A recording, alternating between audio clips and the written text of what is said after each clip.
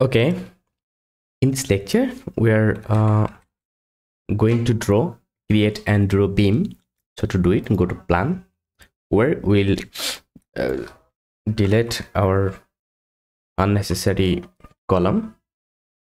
Okay. Now where we'll draw beam okay. So um in our ground floor. First of all we'll draw beam to do it. After selecting ground floor we'll go here beams and here you will get some option. And the section is still timber rcc same as previous rcc and our a default beam section is given here. To change it or to define the section i'll go here. Then from here rcc beam. Okay section type rcc beam. Then our materials concrete let's say 3.5 ksi concrete. Then we'll go here level. Okay we'll not change any level right now. So what be the width of our beam? From here you will be able to um, set your required size or you'll be able to uh, provide your required shape of a structure uh, here here here as per your requirement so i'm taking rectangular section. What will be the width of our beam? I will take the take width of our beam is 10 and our depth of the beam will be let's say 15 inch. You can see here our level have been created automatically. I will change its name let's say gf or sorry gb ground uh, grade beam. Okay let's say grade beam 1 okay then click add. Then we'll create another size for let's say 10 into 18 and the second time it will not change automatically because we have changed it or we have changed it manually. That's why we have to provide here 18 and it will be gb2 okay. And click add. Then we'll create floor beam one let's say it will be uh, sorry 10 15 then click add. So close and if you see rcc beam and here in the beam section you'll see your define beam section. Now select which beam you want to use to draw. Let's say first of all i'll go for gb1 so for gb1 from where to where you want to draw simply click that point to that point. See our beam have been created again. Click here to here. And click here to here. Okay? It's very simple to draw our beam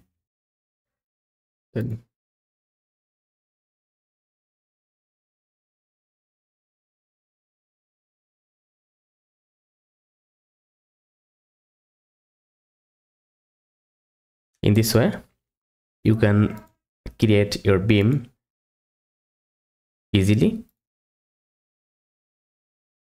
Okay. Now let's say in this this direction i'll change for gb2 here and if you use the drag option it will continue. See it will stay continue. Skip. Sorry control z again?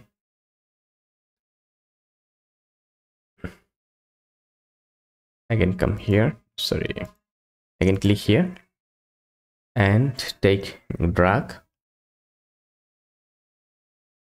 This point to this point. When you will need to create continuous beam then you can use this option. Then click here. And see? It's remote. I can click here. Then click here. And also if you want to continue simply click here. It will start like that. Sorry. Control z.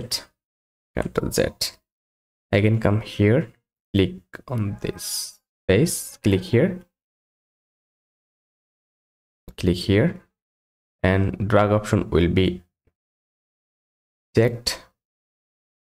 Click here. And then click here. See? Done. Now close. And go to view. If you come here you will see our section is perfectly okay. Our section is perfectly okay. So in this way we are okay let's go to plan view. Go to gf and from here deleter unnecessary section. See? So in this way we are able to create our beam. Now sometimes we need to change our beam size or uh, sometimes we need to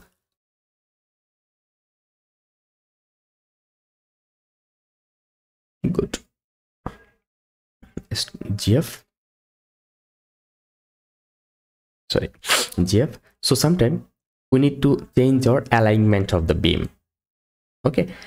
Uh, to do it i'll go here. No, member number. So here's the number of member.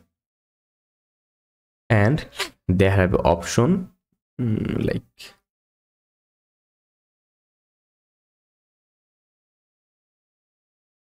okay uh, if we go here edit. They have some option to rotate it axial symmetry then correction then mm, okay actually this option should be available here but now it's okay if we go to view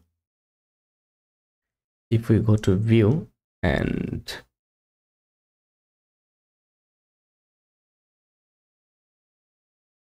uh extremely sorry. Go to plan. And here we have to go properties. We have to go to properties. Then we'll get this this option here actually. Many option will be available here.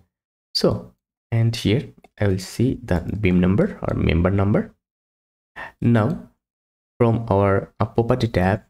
Let's say we have a beam size of 21 or we have a beam size of uh, let's say 36 and we want to change its alignment or axis.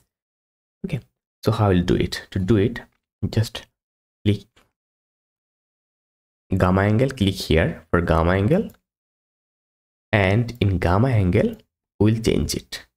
So how i'll do it uh, here we'll provide the member number let's say 36 and if you want to do for multiple member then uh, provide let's say 36 and 40 provide comma 40 so two member have been selected. And uh, give her the angle. Okay. Let's say we'll rotate this angle for 90 degree. And click apply. You'll see these two angles uh, two beam change its orientation. So if we go in view if we go in view then if you see this beam and also this beam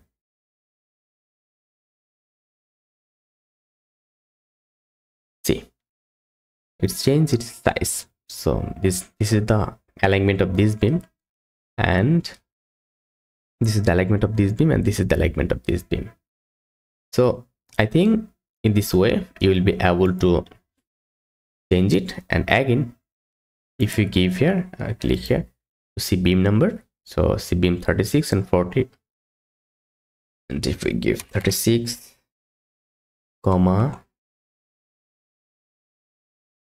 40 two beam have been selected and just give it 0 degree then apply.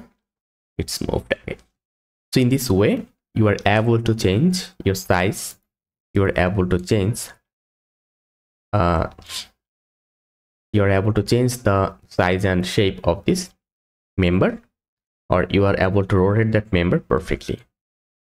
So thank you. Thank you very much still stay connected till next lecture